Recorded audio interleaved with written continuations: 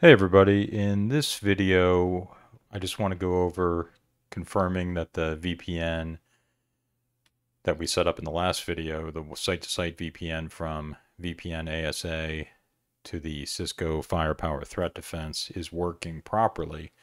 So what we did so far, and let's open this up. This is the VPN ASA. We did a show VPN session DB L2L and there you can see 75, 10, 10, 2. That is the outside interface of the fire power threat defense. Okay, so that looks like that looks good. We, so we know the tunnel's up. Let's also open this Docker container right here. And what we'll do is we'll ping 10 170 10.10 which is this PC behind here. And we'll open that one up. And let's ping 10 150 15.10 and you can see that that's also working. So that 10 150 15.10 is right down here. This it's it's actually this Docker container right here. Control C IP addr and we can see that. 10 150 15.10 control C. Control C on there. We should also be able to go to here and go to 10 150 15.10 because this is running a Apache 2 website and there you can see it. And we should also be able to do it the other way around. Let's see if that's working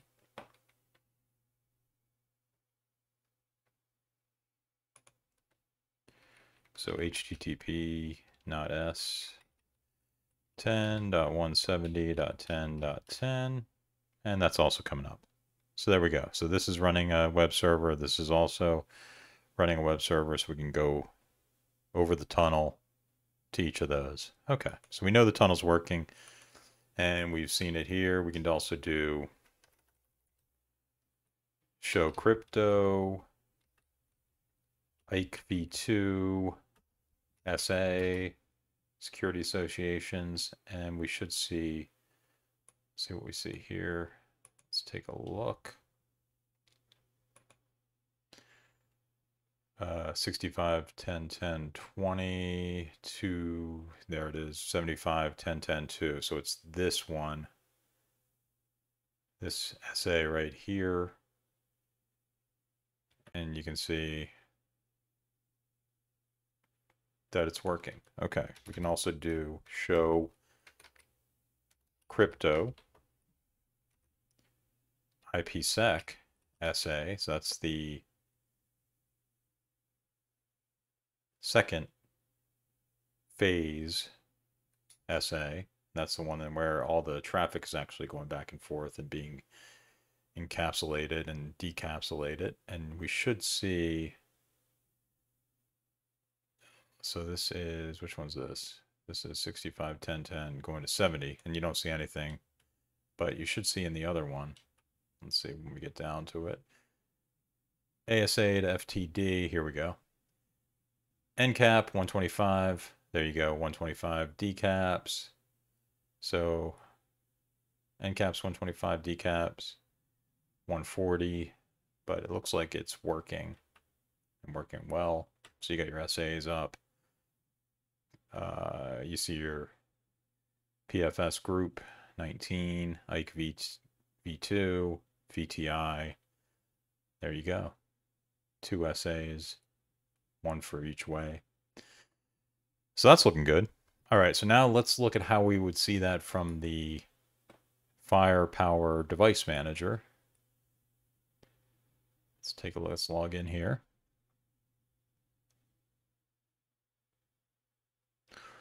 Let's let this come up.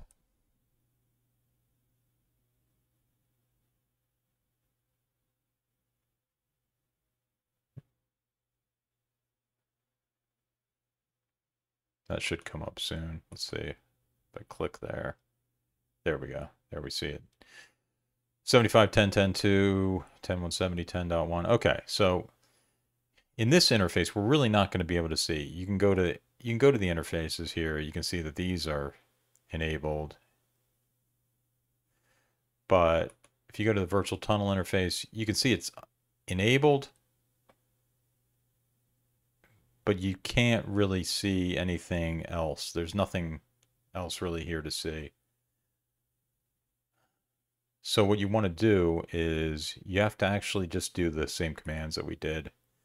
You just go right in here and do a show VPN session DB L2L. And it will return 65 10 10 20 it's got a connection there so it's been up 20 hours so it's working. Uh, you can also do the same show crypto Ike v2 SA same thing you're seeing stuff show crypto IPsec SA and there you go you've got encaps, decaps, everything looks, everything looks good. So that's how you're going to have to look. You have to go to the CLI console in the Firepower Device Manager to really see if your tunnel is working. So uh, we can also go to monitoring. Let's take a look here. We see a spike in traffic. So let's let's go through the dashboard here. So network overview.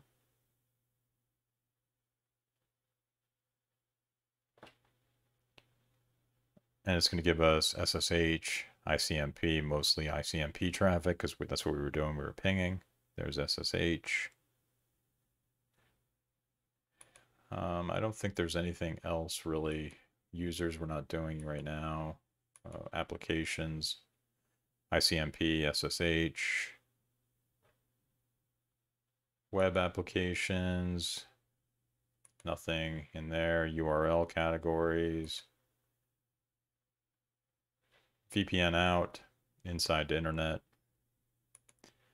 See if we see anything in zones. Inside zone to outside zone, inside zone to VPN zone, 38 transactions.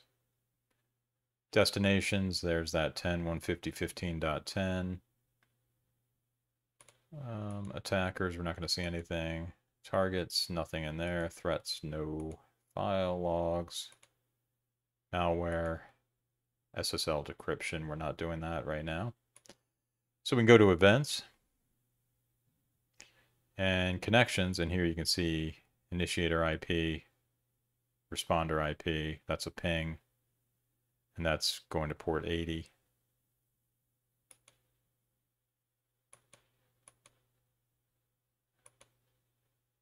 Uh, the intrusion, all this stuff we don't really, we're not really using right now. And sessions, that's just going to be the admin session.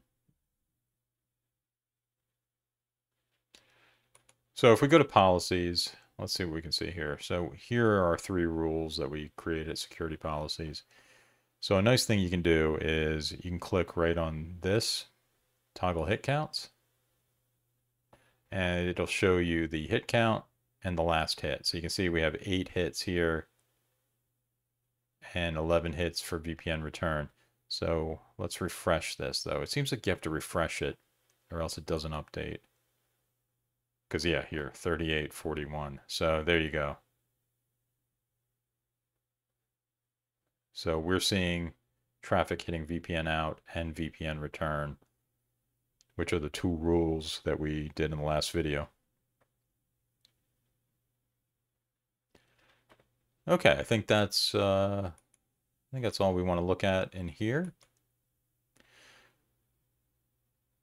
So that's just how you would take a look at your to make sure your site-to-site -site VPN is working in both the ASA and Firepower Threat Defense. So thank you very much for watching.